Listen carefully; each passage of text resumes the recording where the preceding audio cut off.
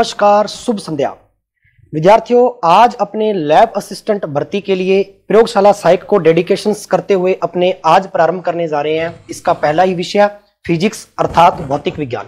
और भौतिक विज्ञान के अंदर, जैसा कि अपने प्रीवियस लेक्चर के अंदर सारा सिलेबस पढ़ा था, और उस सिलेबस के अंतर्गत अगर अपने लें तो सबसे पहला टॉपिक आपका मैकेनिक्स के अंदर, फिजिक्स में यांत्रिकी के अंतर्गत गति को पढ़ते हैं। ध्यान दीजिए, गति के बारे में अपने डिस्कस करने जा रहे हैं। मोशन। चैप्टर प्रारंभ हो रहा है मोशन। अगर अपन बात करें, जैसा कि आपको दिखाई दे रहा है मोशन की अगर अपने बात करें तो सबसे पहले यह जान लेते हैं कि कोई भी वस्तु या कोई भी ऑब्जेक्ट है, उसकी भौतिक प्रावस्था या उसकी भौतिक अवस्था कैसे हो सकती है? किसी भी ऑब्जेक्ट की भौतिक अवस्था, अर्थात उसकी बाहरी अवस्था, कि जिस कंडीशन के अंदर वो वस्तु रखी हुई है, या वो मूवमेंट कर रही है, या वो मोशन क्रिएट कर रही है।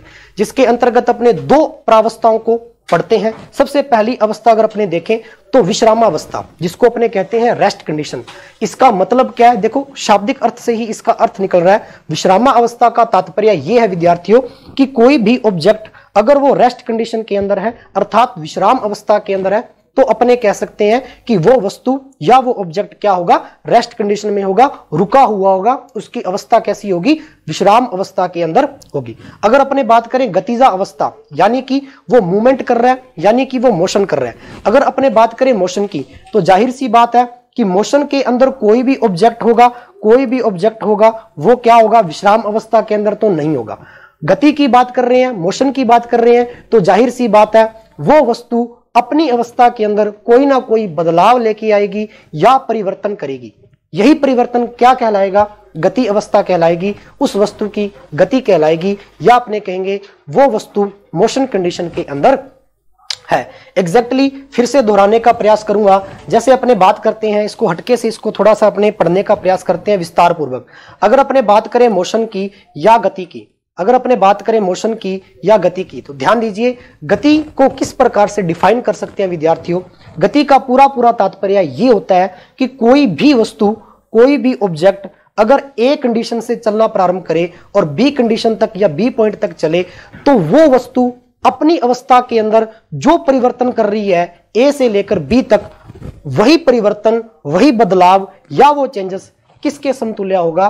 गति के समतुल्य होगा या अपने कहेंगे गति के बराबर होगा। अगर अपने बात करें आगे तो ध्यान दीजिए इसके अंदर दो डेफिनेशन या दो टर्म्स अपने और पढ़ने का प्रयास करती है। अगर बात करें दूरी की डिस्टेंस की अगर बात करें, ध्यान दीजिए दूरी की। या अपने कह दें डिस्टेंस या अपने कह दें डिस्टेंस अगर अपने दूरी की बात करें विद्यार्थियों तो दूरी और गति दोनों के अंदर बड़ा ही फ़र्क है या दोनों के अंदर बड़ा ही अंतर है। विद्यार्थियों, दूरी क्या होगी आपकी? किसी भी ऑब्जेक्ट की डिस्टेंस को कैसे डिफाइन कर सकते हैं? डिस्टेंस को डिफाइन करने के लिए सिर्फ़ एक ही वर्ड को अपने ध्यान में रखेंगे कि अपने द्वारा चली गई दूरी किसी भी पथ की लंबाई के क्या होगी? बराबर। कि जैसे मान लो कोई भी ऑब्जेक्ट है, अगर वो पाथ ऑफ़ ट्रेवलिंग कर रहा है ए पॉइंट से लेकर बी पॉइंट तक तो वो जो पाथ ऑफ़ ट्रेवलिंग है, वो किसके बराबर होगा? यहाँ पे ए से लेकर बी पॉइंट तक डिस्टेंस के बराबर होगा या दूरी के समतुल्य होगा। तो अपने कह सकते हैं ए से बी का मतलब प्रारंभिक बिंदु क्या होगा उसका? पॉइंट ए यानी कि उसका जो प्रारंभिक बिंदु इनिशियल पॉइंट होगा, वो होगा ए अंतिम बिंदु तक, यानी कि फाइनल पॉइंट तक बी तक जैसे ही वो ऑब्जेक्ट पहुंचेगा ट्रेवल्ड करेगा तो वो जो ट्रेवलिंग होगी, वो किसके समतुल्य होगी, किसके इक्वल होगी आपकी? दूरी के इक्वल होगी। अगर अपने बात करें यूनिट की तो विद्यार्थियों दूरी को मीटर के अंदर मापा जाता है, मीटर के अंदर, ठीक है ना? एमकेएस यूनिट लें या इसको एसआई यूनिट के अंदर अपने लें तो आप इसको मीटर के अंदर क्या है? रिप्रेजेंट कर सकते हैं। अगर अपने बात करें दूरी के बाद में आगे डिस्प्लेसमेंट देखो, दूरी और डिस्प्लेसमेंट यानी दूरी और विस्थापन, दोनों में ज़्यादा अंतर नहीं है, दोनों में सिर्फ़ हल्का सा फ़र्क है। ध्यान अपने को यह रखना, देखिए, अपने इसकी पूरी डीपली डेफिनेशन में नहीं जाना कि दूरी और विस्थापन में फ़र्क क्या है। सिर्फ़ अपने एक ही बात को समझना है, दो डायग्राम्स के माध्यम में माध्यम से समझने का प्रयास करते हैं। जैसे मान लीजिए, यहाँ से कोई भी ऑब्जेक्ट ए से चलता है और पॉइंट बी तक पहुँचता है ए टू बी और यहाँ पर कोई भी ऑब्जेक्ट ए से बी तक इस प्रकार से ट्रेवल्ड कर रहा है ए से बी ध्यान दीजिए, दोनों ही चित्रों के अंदर स्पष्ट रूप से आपको एक बात दिखाई दे पड़ रही है कि बिंदु ए से बी तक कोई भी ऑब्जेक्ट क्या है ट्रेवल्ड कर रहा है, दूरी तय कर रहा है। फ़र्क क्या है? एक तो दूरी इस प्रकार की तय हो रही है, जिसके अंदर उसकी डायरेक्शन क्या है? फिक्स नहीं है, यानी कि उसकी दिशा क्या है? निश्चित नहीं है। एक दूरी इस प्रकार से चली जा रही है, अगर अपने दूसरा डायग्राम देखें, चित्र संख्या दो देखें तो उसके अंदर अपने को जो दिशा है, जो डायरेक्शन है, वो एक निश्चित तौर पर दिखाई दे रही है, यानी कि उसकी जो डायरेक्शन है, वो एक फिक्स पॉइंट पर अपने को दिखाई दे पड़ रही है। दोनों के अंदर फ़र्क सिर्फ़ डायरेक्शन का है, और यही डायरेक्शन का फ़र्क क्या है? दूरी और विस्थापन के अंदर अंतर को समझाता है। ध्यान दीजिए, फिर से समझाने का प्रयास करते हैं। विस्थापन या डिस्प्लेसमेंट भी एक दूरी का रूप है। विस्थापन भी एक दूरी का रूप है। फ़र्क सिर्फ़ इतना है कि जो विस्थापन होगा बच्चों, वो आपकी न्यूनतम दूरी होगी या अपने कह सकते हैं सीधी दूरी। होगी।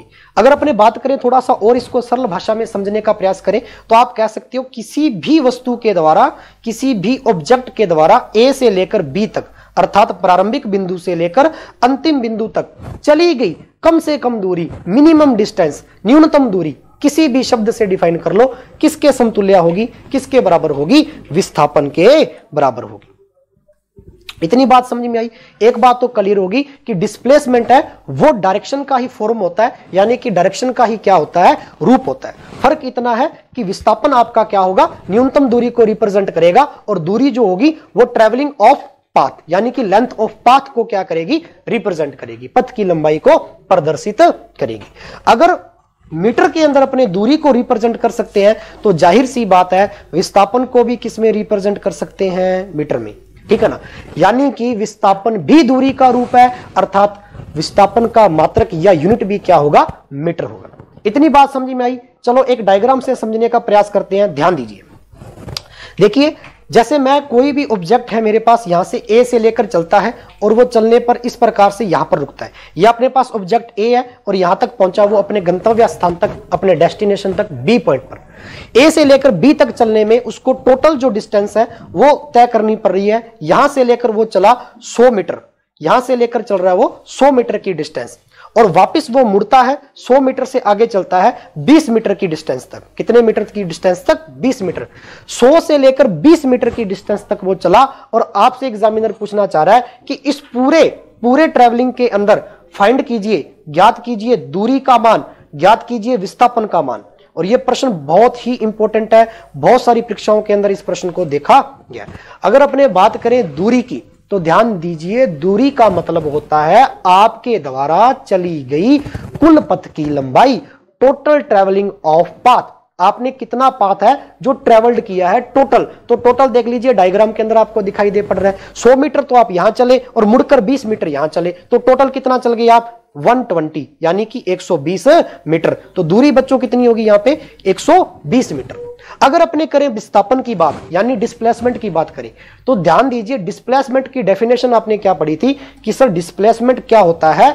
किसी भी ऑब्जेक्ट के द्वारा चली गई न्यूनतम दूरी होती है, कम से कम दूरी होती है। तो इस डायग्राम के अंदर ध्यान दीजिए, देखिए और बताइए कि कम से कम दूरी कितनी चल सकते हैं कि ए से चले और बी तक पहुँच जाए। तो आप बताएँगे कि सर, इतना चलने की आवश्यकता नहीं है। आप यहाँ से चलना प्रारंभ कीजिए और आप बी तक यहाँ तक पहुँच जाएँगे। सबसे शॉर्टेस्ट डिस्टेंस तो यही बनेगी इसकी, जिसको आप मिनिमम डिस्टेंस से रिप्रेजेंट करेंगे। तो 100 मीटर ये थी 20 ये थी तो 100 में से 20 कम होगी रिमेनिंग कितना बच गया? 80 मीटर, यानी कि 80 मीटर। तो विस्थापन आपका कितना हो जाएगा? डिस्प्लेसमेंट कितना हो जाएगा यहाँ पे? 80 मीटर। हाया ना, समझ में आई पूरी बात? एग्जैक्ट बिल्कुल। ठीक है? इस प्रकार अपने क्या है? किसी भी ऑब्जेक्ट की डिस्टेंस और डिस्प्लेसमेंट क्या है? फाइंड कर सकते हैं। आप चाहे डेफिनेशन से फाइंड कर लीजिए, चाहे आप उसको थ्योरी के रूप में पढ़ के फाइंड कर लीजिए, चाहे आप उसको क्वेश्चन के रूप में फाइंड कर अगर अपने आगे चले तो ध्यान दीजिए। आगे अपने बढ़ने का प्रयास करते हैं, अपने डिस्प्लेसमेंट के बारे में पढ़ा, अपने डिस्टेंस के बारे में पढ़ा और अपने मोशन के बारे में भी पढ़ा। जैसा कि आपको यहाँ पे दिखाई दे पड़ रहा है, दूरी और विस्थापन। यहाँ पर भी एक चित्र बनाकर आपको अच्छे से समझाया गया है, जो अपने हाल ही के अंदर इसको समझा है। ध्यान दीजिए, न्यूनतम दूरी है, जो क्या है, विस्थापन को रिप्रेजेंट कर रही है और जो आपकी दूरी है, वो क्या है, आपके द्वारा चला गया पथ। या पथ की लंबाई को प्रदर्शित कर रही है। ध्यान दीजिए, इसके अंदर एक लाइन लिखी हुई है, वास्तविक पथ क्या होगा जो कि कोई अपनी प्रारंभिक स्थिति से अंतिम स्थिति के बीच में वस्तु चलती हो, वही उसकी क्या होगी? वास्तविक दूरी होगी या उसका वास्तविक पथ होगा। जो आगे चलकर दूरी की माप बताएगा, दूरी को रिप्रेजेंट करेगा। अगर अपने आगे चले तो ध्यान दीजिए इसके अंदर लिखा हुआ है, दूरी एक क्या है? एदिश राशि है। अब इस चीज़ को समझ लीजिए सर कि एदिश क्या होता है और सैदिश क्या होता है। ध्यान दीजिए, बहुत ही इंपॉर्टेंट कॉन्सेप्ट है। हर एक टॉपिक के अंदर फिजिक्स में, हर एक डेफिनेशन में ये प्रश्न पूछने का प्रयास करता है एग्जामिनर कि ये क्वांटिटी है, वो स्केलर होगी या ये क्वांटिटी वेक्टर फॉर्म के अंदर होगी। एदिश होगी या सैदिश होगी। तो ध्यान दीजिए, अगर अपने बात करें एदिश की, देखो नाम से शब्द का अर्थ है ना, वो निकल रहा है और नाम से यहाँ से क्या डेफिनेशन अपने बनकर आ जाएगी। एदिश का मतलब अरे ऐसी राशि जिसके अंदर दिशा का बोध न हो, यानी कि ऐसी क्वांटिटी ऐसी अपने फ़िज़िकल क्वांटिटी जिसमें डायरेक्शन क्या हो फिक्स ना हो, जैसे अपने अभी दूरी के बारे में जाना था एक चित्र के माध्यम से। जिसके अंदर क्या थी, दिशा क्या थी, निश्चित नहीं थी, दूरी के अंदर डायरेक्शन क्या थी फिक्स नहीं थी। इस प्रकार की राशियाँ क्या कहलाएँगी? आपकी एदिश राशियाँ। यानी कि दिशा तो फिक्स नहीं होगी, जिसमें दिशा का कोई बोध नहीं होगा, लेकिन उसका मैग्नीट्यूड होगा, उसका परिमाण होगा। यानी कि उसका मैग्नीट्यूड होगा, यानी उसका परिमाण होगा। जैसे कि आपने बताया सर, दूरी। डिस्टेंस क्या है? एक स्केलर क्वांटिटी है। बिल्कुल, मोशन भी एक स्केलर क्वांटिटी है। कोई फिक्स डायरेक्शन नहीं है कि कोई भी ऑब्जेक्ट है, वो किस प्रकार से अपने पाथ को ट्रेवल्ड करेगा। है ना? अगर बात करें अपने सैदिश की, वेक्टर की तो ध्यान दीजिए vector quantity is a vector quantity किसे कहेंगे कि सर ऐसी राशियाँ जिसके अंदर क्या हो डायरेक्शन भी हो, सैदिश का मतलब दिशा के साथ, दिशा सहित, अर्थात जिसमें क्या हो, दिशा भी हो और क्या हो, परिमाण भी मौजूद हो। परिमाण और दिशा दोनों का उसमें बोध होता हो। इस प्रकार की राशियाँ क्या कहलाएगी विद्यार्थियों? सैदिश राशियाँ। अर्थात जिसमें डायरेक्शन और मैग्नीट्यूड दोनों ही हो। जैसे डिस्प्लेसमेंट डिस्प्लेसमेंट क्या आपकी? शॉर्टर डिस्टेंस है. ए से लेकर बी तक आप चले और 10 मीटर चले। और मैंने बता दिया कि 10 मीटर आप किस दिशा में चल रहे हो? आपको डायग्राम में दिख रहा है। एरो का निशान लगाकर मैंने समझा दिया कि इसकी जो दिशा है ए से बी तक 10 मीटर क्या है? निश्चित है फिक्स है। यानी डायरेक्शन भी फिक्स है।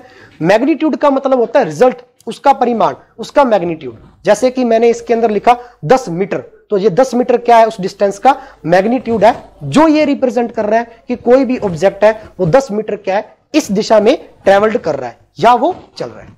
इतनी बात मेरी आई होप आपको समझ में आई होगी। अगर अपने आगे चले तो ध्यान दीजिए। दूरी और विस्थापन को अपने विस्तार पूर्वक पढ़ा और आपने कुछ क्वेश्चंस के माध्यम से, प्रश्नों के माध्यम से इसको समझने का प्रयास किया। अगर अपने आगे थोड़ा सा इसको और पढ़ने का प्रयास करें तो एक डेफिनेशन आपकी मैकेनिक्स के अंदर और पढ़ी जाती है, चाल। स्पीड स्पीड आपकी डिस्टेंस से ही निकलती है। चाल के बारे में आप किस प्रकार से डिफाइन करते हो चाल को? चाल के संदर्भ में आप कहते हो कि, सर, चाल जो होगी आपकी speed is equal to distance upon में टाइम यानी किसी भी वस्तु के द्वारा चली गई दूरी और उस दूरी में उस वस्तु को कितना समय लगा, ये किसके समतुल्य होता है? चाल के समतुल्य होता है स्पीड के समतुल्य। ठीक है? जैसा कि आपको दिखाई दे पड़ रहा है यहाँ पर। गति के दर का मापन। सिंपल सी, दो ही शब्दों में डेफिनेशन या मैं इसको एक निश्चित समय के अंदर कन्वर्ट कर दूँ तो मैं ऐसे लिख सकता हूँ कि एक सेकंड के अंदर, एक सेकंड में किसी भी वस्तु के द्वारा चली गई, किसी भी वस्तु के द्वारा चली गई दूरी। एक सेकंड के अंदर किसी भी वस्तु के द्वारा चली गई दूरी किसके बराबर होती है, विद्यार्थियों? चाल के समतुल्य ठीक है? यहाँ तक आपको बात समझ में आई होगी। अगर अपने बात करें चाल की तो चाल कौन सी राशि है भैया? स्केलर क्वांटिटीज है, यानी कि एदिश राशि है। मैंने अभी बताया था एदिश राशि का मतलब क्या होगा? जिसमें डायरेक्शन का बोध नहीं होगा, दिशा उसमें निश्चित नहीं होगी। तो चाल के अंदर अपनी दिशा निश्चित नहीं होती है। क्यों? क्योंकि चाल जो है, वो दूरी और समय के मिलने से बनती है। जहाँ तक अपने पता है कि दूरी एक एदिश राशि है, ज़ाहिर सी बात है, चाल भी क्या होगी आपकी? एदिश राशि होगी स्केलर क्वांटिटी होगी। अपने आगे पढ़ने का प्रयास करें तो यूनिट के बारे में थोड़ा सा अपने और अपने यहाँ पे डिस्कस कर लेते हैं कि चाल की जो यूनिट होगी, वो किस प्रकार से होगी, किस प्रकार से चाल की यूनिट को अपने फाइंड कर सकते हैं, या किस प्रकार की यूनिट इसकी बताई जाती है। इतनी बात पता चल गई कि जो आपकी स्पीड है, या जो चाल है, वो क्या है आपकी? स्केलर क्वांटिटी है, प्रवृत्ति कैसी उसकी? एदिश प्रवृत्ति है। ध्यान दीजिए यहाँ पर। देखिए, अगर अपने चाल की बात करें, अगर अपने चाल की बात करें तो चाल बराबर आपकी होती है दूरी बटा समय, यानी कि डिस्टेंस अपॉन में टाइम आप क्या कहते हो? Speed is equal to distance upon में टाइम डिस्टेंस को किससे रिप्रेजेंट करते हो? डिस्टेंस को किससे मेजर करते हो? सर मीटर से मेजर करते हैं। ज़ाहिर सी बात है। और टाइम को किससे करते हो सर सेकंड से। ऐसा यूनिट क्या सेकंड तो पूरा पूरा यूनिट क्या फाइंड होकर आया अपने पास? मीटर पर सेकंड या मीटर प्रति सेकंड किससे रिप्रेजेंट करते हैं? स्पीड से। कभी कभार एग्जामिनर ऑप्शन के अंदर इसको इस प्रकार से भी व्यक्त करता है, जैसे मैं इसको ऐसे लिख दूँ, मीटर बटा सेकंड और सेकंड को अगर मैं मीटर के मल्टीप्लाई में लेके चला जाऊँगा तो क्या आप इसको मीटर इंटू सेकेंड इनवर्स लिख सकते हैं क्या? बिल्कुल सर। ठीक है? मल्टीप्लाई के अंदर जाते ही डिवाइड क्या है? इनवर्स के अंदर कन्वर्ट हो जाएगा। जैसा कि आप मैथमेटिक्स में पढ़ते हैं वन अपॉन में एक्स इज़ इक्वल टू लिखे तो एक्स की पावर माइनस वन या एक्स इनवर्स सेम कॉन्सेप्ट यहाँ पर भी क्या है? काम करता है मीटर इंटू सेकेंड इनवर्स ये भी इसका क्या है? यूनिट है। कभी कभार ऑप्शन के अंदर एग्जामिनर ये भी रख देता है। आपको ध्यान रखना है अच्छे तरीके से। ठीक है विद्यार्थियों? आगे चलते अपने। ध्यान दीजिए। अपने गति के बारे में पढ़ा मोशन के बारे में पढ़ा। मोशन क्या होती है? दो अवस्थाओं के अंदर मोशन को बांट कर पढ़ा। अपने डिस्टेंस के बारे में पढ़ा। दूरी क्या होती है? अपने दो तीन प्रश्नों के माध्यम से समझने का प्रयास किया। अपने विस्थापन के बारे में पढ़ा कि दूरी और विस्थापन के अंदर फ़र्क क्या है डिफरेंस क्या है, अंतर क्या है, यहाँ तक पढ़ा और अपने इसके मात्रक पढ़े और साथ ही साथ पढ़े अपने चाल के बारे में। ठीक है? तो ध्यान दीजिए अपने और इसको जानने का प्रयास करें। तो जैसे ही अपने और इसको जानने का प्रयास करते हैं तो यहाँ पर आपके सामने एक फॉर्मूला दर्ज किया गया है औसत चाल का।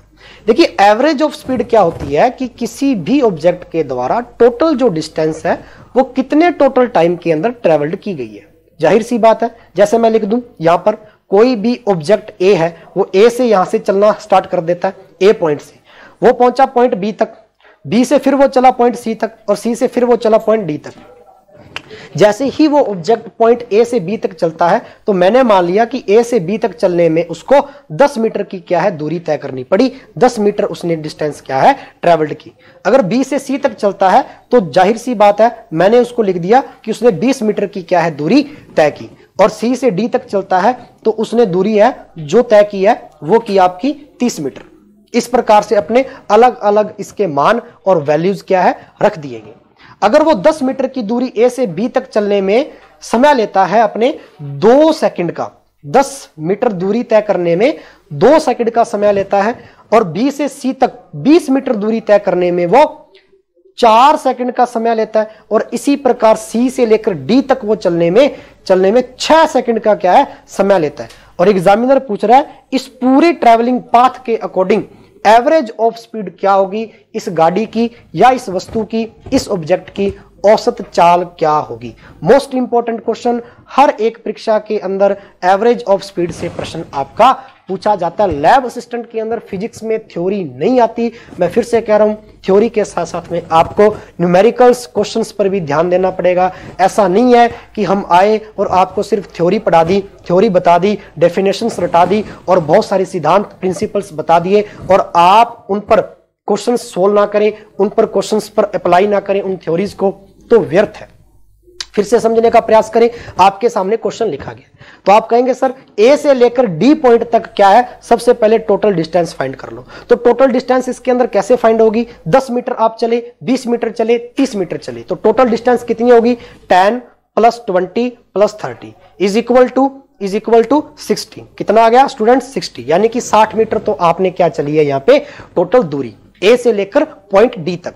ए से लेकर डी तक जो 60 मीटर दूरी चली है, और वो कितने समय में चली है, समय आपको प्रश्न में दर्ज दिया गया है पूरा। दो सेकंड, चार सेकंड और छह सेकंड। यानी कि टोटल आपका जो टाइम इसके अंदर लग रहा है, पॉइंट ए से डी तक पहुँचने में, वो लग रहा है आपका 12 सेकंड, अर्थात 12 सेकंड। ठीक है? अब सोल्व कर देंगे 12 यानी कि 12 का डिवाइड करेंगे 60 के अंदर तो 60 अपॉन में 12 is equal to five metre पर सेकंड, ठीक है ना? यूनिट क्या होती है स्पीड की? मीटर पर सेकंड। तो ज़ाहिर सी बात है, ज़ाहिर सी बात है कि ए से लेकर डी तक अपने को पहुँचने के लिए, पहुँचने के लिए क्या है? पाँच मीटर प्रति सेकंड से एवरेज ऑफ़ स्पीड से चलना पड़ेगा। हर सेकंड के अंदर पाँच पाँच मीटर, हर सेकंड के अंदर डी तक पहुँचने में पाँच पाँच मीटर। इसका पूरा पूरा अर्थ है वो ये ठीक है? इस प्रकार से फॉर्मूले में जाने की आवश्यकता नहीं है। अपने को सिर्फ़ ये याद रखना है कि टोटल डिस्टेंस अपॉन में total time is equal to average of speed यानी कि औसत चाल बराबर कुल दूरी बटा कुल समय। आप इसको इस प्रकार से भी रिप्रेजेंट कर सकते हैं। X one plus X two plus X three divide by T one plus T two plus T three is equal to average of speed यहाँ तक बात समझ में आई क्या अच्छे से? बिल्कुल, सर। ठीक है? देखिए, अपने आगे इसको और पढ़ने का प्रयास करते हैं एवरेज ऑफ़ स्पीड के बारे में अपने जानने का प्रयास किया।